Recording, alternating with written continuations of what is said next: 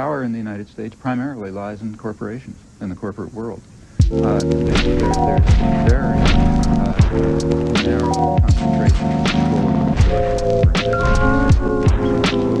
and that affects and helps uh, the government because means that there's a very close link between governmental power and just the ability to make investment decisions and financial decisions.